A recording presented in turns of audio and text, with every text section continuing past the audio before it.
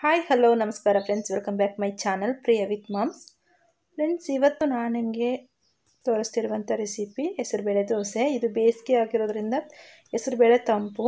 ಹಾಗಾಗಿ ಈ ರೆಸಿಪಿನ ಸೇರ್ ಮಾಡ್ತಾಯಿದ್ದೀನಿ ನೋಡಿ, ಈಗ ಎರಡು ಕಪ್ ಅಷ್ಟು ನಾನು ಹೆಸರುಬೇಳೆನ ಒಂದು ಕಡೆಗೆ ಹಾಕ್ಕೊಳ್ತಾ ಇದ್ದೀನಿ.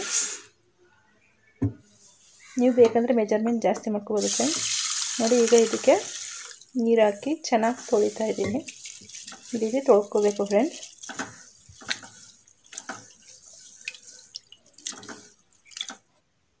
ಈಗ ಈ ನೀರನ್ನ ತೆಗಿತಾ ಇದ್ದೀನಿ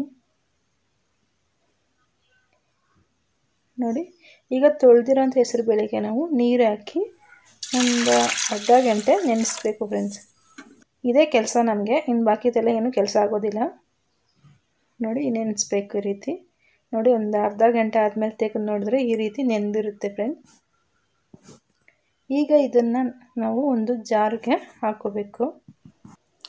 ನೋಡಿ, ಈ ರೀತಿ ಹೆಸರುಬೇಳೆನ ಸ್ವಲ್ಪ ಸ್ವಲ್ಪನೇ ಹಾಕ್ಕೊಂಡು ದೋಸೆ ಹಿಟ್ಟಿನ ಅದಕ್ಕೆ ನುಣ್ಣಗೆ ರುಬ್ಕೋಬೇಕು. ಆದರೆ ತೆಳ್ಳಗಿರಬಾರ್ದು, ಒಂದು ಸ್ವಲ್ಪ ತಿಕ್ಕಾಗಿ ಇರಬೇಕು ಫ್ರೆಂಡ್ಸ್ ಆ ರೀತಿ ಫೈನ್ ಪೇಸ್ಟ್ ಆಗೋವರೆಗೂ ನೀವು ರುಬ್ಕೋಬೇಕು. ನೋಡಿ, ಈ ರೀತಿ. ಈಗ ಇದನ್ನು ಒಂದು ಪಾತ್ರೆಯಲ್ಲಿ ಹಾಕೊಳ್ಳೋಣ. ನೋಡಿ, ಎಷ್ಟು ತಿಕ್ಕಾಗಿದೆ ಅಂತ.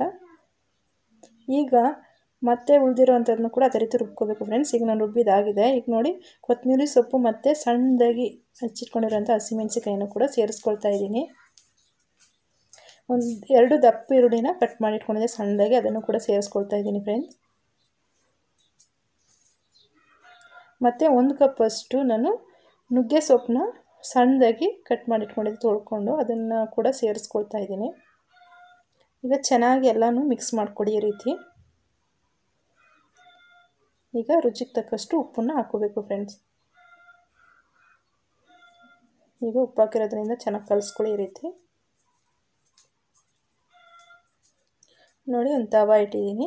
ಈಗ ತವಕ್ಕೆ ಒಂದು ಸ್ವಲ್ಪ ನೀರನ್ನ ಚಿಮುಕ್ಸಿ ಅದಾದಮೇಲೆ ದೋಸೆನ ಹಾಕೋಬೇಕು ಫ್ರೆಂಡ್ಸ್ ನೋಡಿ ಹಾಕ್ಕೊಳ್ತಾ ಇದ್ದೀನಿ ಈ ರೀತಿ.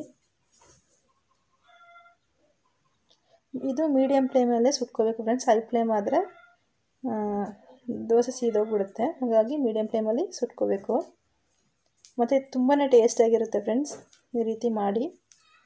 ಟಿಫನ್ ಬಾಕ್ಸ್ ಲಂಚ್ ಬಾಕ್ಸ್ ಮತ್ತು ಮಾರ್ನಿಂಗ್ ತಿಂಡಿ ಈವ್ನಿಂಗ್ ಸ್ನ್ಯಾಕ್ ಎಲ್ಲದಕ್ಕೂ ಚೆನ್ನಾಗಿರುತ್ತೆ ಫ್ರೆಂಡ್ಸ್ ನೋಡಿ ಈಗ ಮೇಲೆ ನಾನು ತುಪ್ಪನ ಹಾಕ್ಕೊಳ್ತಾ ಇದ್ದೀನಿ.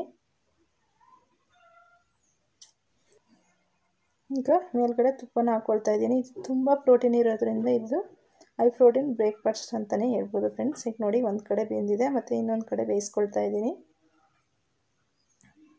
ನೋಡಿ, ಈ ರೀತಿ ಎರಡು ಕಡೆ ಚೆನ್ನಾಗಿ ಬೇಯಿಸ್ಕೊಳ್ಳಿ.